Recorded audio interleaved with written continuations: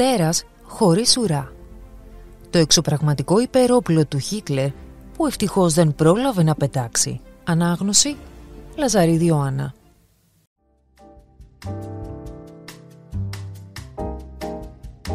Είναι τα pod radio του Pro News.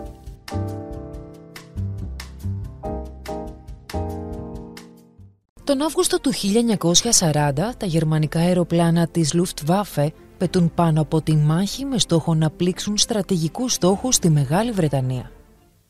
Το πλάνο του Χίτλερ ήταν να βομβαρδίσουν υποδομές, αεροδρόμια και λιμάνια με στόχο να γονατίσουν την μοναδική χώρα στο δυτικό μέτωπο που στεκόταν εμπόδιο στα σχέδιά του. Τότε ήταν ακόμα σε ισχύ το σύμφωνο μη επίθεσης που είχε υπογραφεί με την Σοβιετική Ένωση του Στάλιν. Οπλισμένοι με την αυτοπεποίθηση που είχαν φέρει οι προηγούμενες σαρωτικές νίκες, οι Γερμανοί πιλότοι ετοιμάζονται να προσθέσουν ακόμα μία. Όμως τα Spitfire της RAF σε συνδυασμό με τα βρετανικά ραντάρ αποδεικνύονται ένας ανίκητος αντίπαλος. Στο τέλος της ημέρας, 45 αεροσκάφη των Ναζί έχουν καταρριφθεί έναντι μόλις 13 του Ηνωμένου Βασιλείου. Έξαλλος ο Γκέρινγκ και αφού δέχεται την κατσάδα του Φίρερ που ποτέ δεν έπαιρνε καλά τα άσχημα νέα, διατάσσει τους αεροναυπηγούς του Τρίτου Ράιχ να του παρουσιάσουν το συντομότερο δυνατό σχέδια για ένα αεροσκάφος που όμοιό του δεν θα είχε δει ποτέ η ανθρωπότητα. Θέτει μάλιστα στάνταρτς τα οποία μοιάζουν αδύνατο να πλησιάσουν τα συμβατικά αεροπλάνα. Ζητά το αδιανόητο για την περιοχή, 3 επί 1000. Δηλαδή, ένα πρωτότυπο που να έχει τη δυνατότητα να πετά με ταχύτητες πάνω από 1000 χιλιόμετρα την ώρα, να μπορεί να καλύπτει αποστάσεις χιλίων χιλιόμετρων και να μεταφέρει βόμβες βάρους χιλίων κιλών. Οι σχεδιαστές αεροναυπηγικής σηκώνουν όμως τα χέρια ψηλά. Οι απαιτήσεις του στρατάρχη αντιβαίνουν τη λογική και την γνωστή ως τότε τεχνολογία. Τότε είναι που εμφανίζονται οι αδερφοί Βάλτερ και Ράιμαρ Χόλτεν. Πιλότοι και οι δύο υπήρξαν πιστά μέλη του ναζιστικού κόμματος, αλλά και αυτοδίδακτοι μηχανικοί και αεροναυπηγοί από τα νιάτα τους. Μετά τον Πρώτο Παγκόσμιο Πόλεμο και τη συνθήκη των Βερσαλιών, η οποία έθετε περιορισμού στα εξοπλιστικά προγράμματα και τα όπλα που μπορούσε να κατέχει η Γερμανία, είχαν πειραματιστεί με διάφορους τύπους ανεμοπλάνων και ανεμοπλάνων που δεν είχαν κιόλας την παραμικρή σχέση με τα μοντέλα της εποχής. Όταν λοιπόν έμαθαν για την πρόκληση που έβαζε ο Γκέριγκ, εμφανίστηκαν με τα σχέδιά τους για κάτι που είχε κάνει τους υπόλοιπους σπουδαγμένους μηχανικούς να γελάσουν. Ένα all-wing αεροσκάφος εντελώς διαφορετικής σχεδιαστικής, λογικής και κουλτούρας, δίχως ουρά προδιαγραφών jet. Σε αντίθεση με τους ειδικούς, ο Γκέρινγκ, πιλότος και ο ίδιος στον προηγούμενο μεγάλο πόλεμο, ίσως και απογοητευμένος από όλα τα υπόλοιπα σχέδια που είχε δει, εντυπωσιάζεται από τις προτάσεις τους και αποφασίζει να χρηματοδοτήσει με 500.000 μάρκα τα πλάνα τους.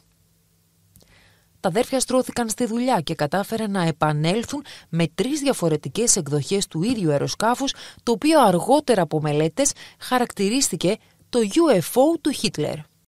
Ήταν τα μοντέλα Horten 223 με τις παραλλαγές V1, V2 και V3 με το τελευταίο εξ αυτών να είναι και το πρώτο αεροσκάφος με τεχνολογία stealth. Οι κατασκευαστές του είχαν προσθέσει υλικά που μπορεί να μην το έκαναν εντελώς αόρατο από τα ραντάρ, αλλά καθιστούσαν τον εντοπισμό του πολύ πιο δύσκολο σε σχέση με τα υπόλοιπα αεριοθούμενα. Στην πραγματικότητα ήταν ένα αεροσκάφος που ερχόταν από το μέλλον και όπως αποδείχτηκε από την ίδια την ιστορία θα χρειάζονταν να περάσουν ολόκληρες δεκαετίες για να εμφανιστεί ξανά στους ουρανούς κάτι ανάλογο.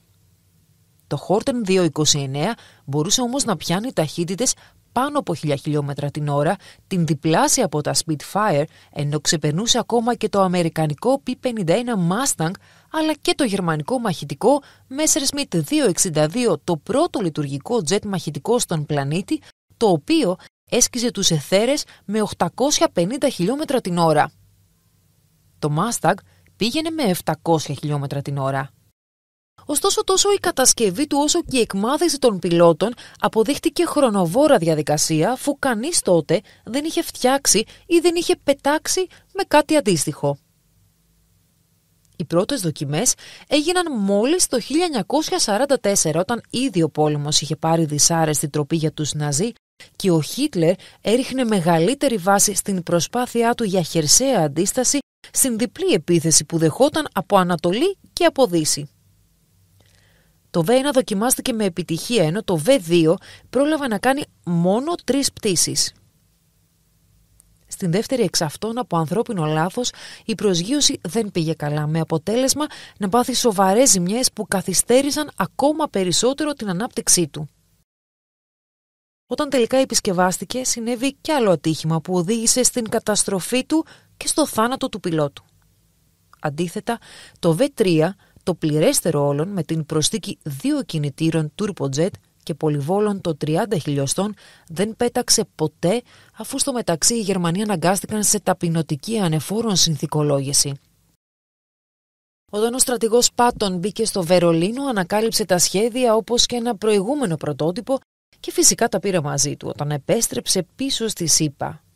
Τα έδωσε στους συμπατριώτες του αεροναυπηγούς που μόνο μετά από πολλά χρόνια θα παρουσίαζαν κάτι ανάλογο. Ένα από τα μοντέλα αυτά σήμερα βρίσκεται στο National Air and Space Museum το 1952, όπου για σχεδόν 60 χρόνια έμεινε παραπεταμένο μέχρι τελικά να γίνουν εργασίες συντήρησης ως φόρος τιμής στο αεροσκάφος που άνοιξε τον δρόμο στα σύγχρονα stealth.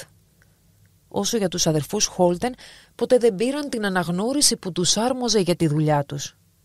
Ο Βάλτερ παρέμεινε στην πατρίδα του και στην πολεμική αεροπορία της δυτικής πλέον Γερμανίας και έφυγε από τη ζωή το 1998 χωρίς να γίνει ποτέ ευρύτερα γνωστή η συνεισφορά του.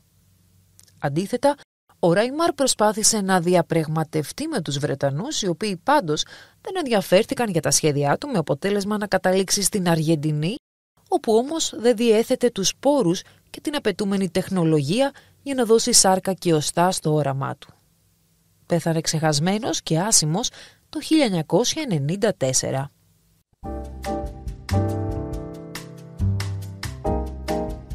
Τα pod radio του ProNews ανανεώνονται καθημερινά μέσα από τη σελίδα του ProNews GR.